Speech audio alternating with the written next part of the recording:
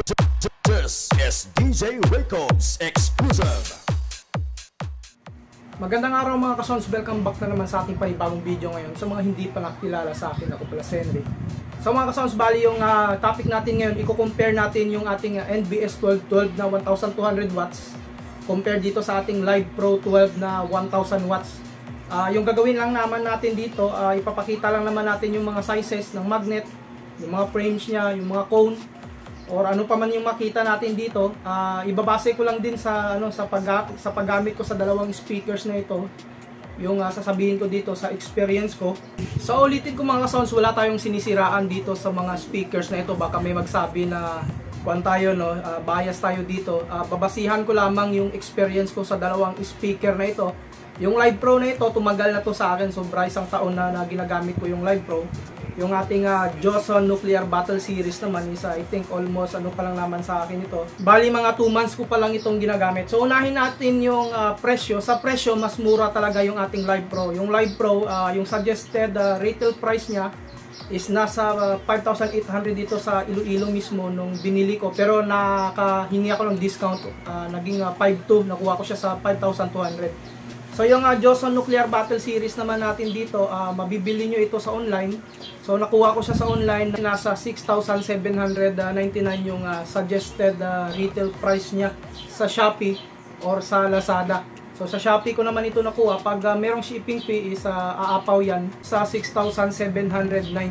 So simulan na natin yung pagkumpara dito sa dalawang uh, speaker na ito. Bago tayo magsimula sa pagkumpara ng ating uh, mga speaker, kung meron mga bagong nakapanood dito sa video na ito, uh, kung makikita nyo kasi dito yung ating Live Pro, meron siyang uh, chicken screen. Tinanggal ko dito yung kanyang speaker mesh dahil uh, nung tumagal ko na siyang ginamit, nagkakaroon siya ng uh, sagit-sit na sound. So napakaingay niya pakinggan sa ating box pero nung pinalitan ko na siya mismo ng uh, chicken screen dito, uh, nawala na yung tunog. So yung uh, diferensya pala yung uh, speaker mesh niya sa loob. Kaya makikita ninyo, ganito na yung kanyang screen. Unahin natin dito yung uh, size ng uh, magnet, yung lapad niya. Sa size ng magnet, uh, halos magkaparehas lamang yung size nila. Uh, sinukat ko na siya kanina. Nasa 8.5 yung kada size ng magnet. So yung Live Pro natin, 8.5. Yung uh, magnet naman ng ating Johnson Nuclear Battle Series, 8.5 din. So parehas na double magnet yung ating mga speakers dito. Uh, sukatin natin kung gaano kakapal pero makikita naman natin dito na mas makapal talaga yung uh, magnet ng Johnson Nuclear Battle Series kumpara dito sa Live Pro. So sukatin natin siya dito. So nasa 1.7 inches yung ating Live Pro 1.7 or 1.6 yung kapal ng magnet ng ating uh, Live Pro dito. Yung uh, Joso Nuclear Battle Series naman natin. Sakto siya na 2 inches mismo. So mas makapal nga yung ating uh, Joso Nuclear Battle Series dito.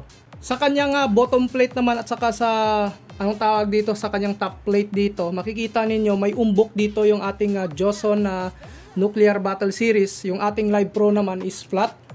So ito rin yung nagdagdag dito sa kagandahan ng ating Johnson Nuclear Battle Series. So sa frame naman ng dalawang uh, speakers na ito, parehas na aluminum die-cast ito. Dito naman tayo sa harapan, sukatin natin yung uh, laki ng size ng frame ng mga speaker na ito. Uh, napakita ko na yung Live Pro natin dati, apaw talaga ito sa 12 inches yung kanyang size ng frame. Kaya pag uh, sumalpak kayo ng Live Pro, tapos sa uh, ibang brand ng speaker yung sinukatan ninyo, Uh, lalong-lalo na pag nakatihaya, yung ganitong posisyon yung paglagay ninyo ng speaker, hindi talaga kakasya yung Live Pro ninyo sa butas. Pero okay lang naman pag uh, ah, MCB yung inyong uh, box, okay lang naman kasi nakakulob yung ating uh, speaker na ito. So sukatin natin siya. Ito nga no, apaw siya ng mga 12 uh, 12.6 uh, 12 inches and 6 uh, dito no 12.6 yung uh, lapad ng uh, frame ng uh, Live Pro. Tapos dito naman sa ating uh, Johnson uh, Nuclear Battle Series. Saktong 12 inches. Kung makikita nyo, no? Uh, saktong-saktong uh, 12 inches talaga yung uh, Johnson Nuclear Battle Series natin.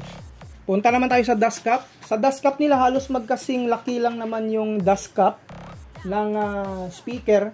Tapos yung kagandahan lang dito sa ating uh, Live Pro naman, nakatreat na yung kanyang uh, cone dito. Makikita ninyo, makapal siya. Ito yung sign na treated na yung uh, cone ng ating Live Pro. Nung uh, kakabili ko nito, basa pa ito kaya dumikit sa kamay ko.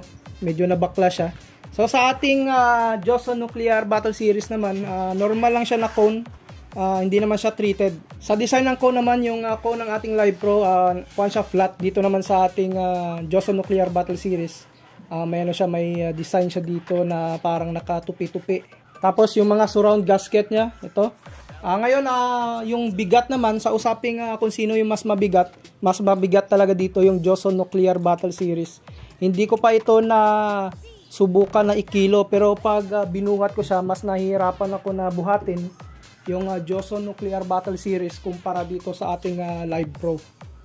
Sa spider naman ng uh, Live Pro natin, makikita ninyo naka-flat yung uh, spider ng ating Live Pro. Tapos may katigasan yung uh, spider ng Live Pro natin dito.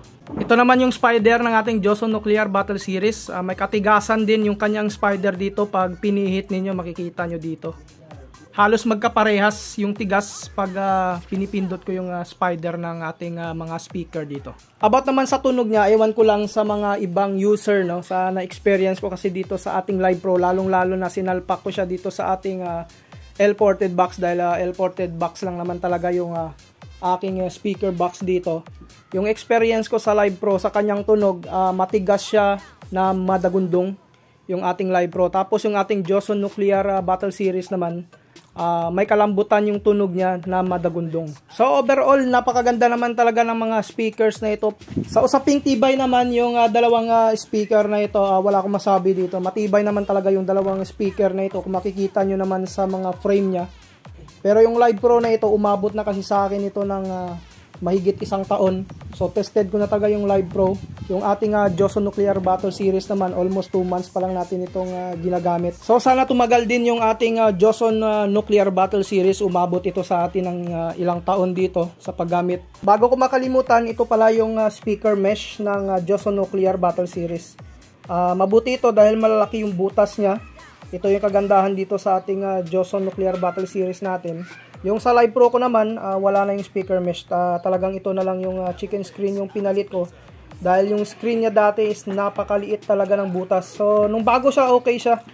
Pero nung tumagal siya, siguro na pasukan ng mga alikabok, uh, may nagkikreate siya na sumasagitsit sa loob na napakaingay.